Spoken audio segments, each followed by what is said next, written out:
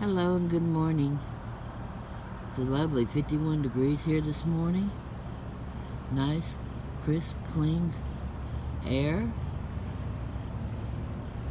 I hope this brings a little sunshine to your day and a smile to your face. Hope y'all have a great day. Thank you and take care.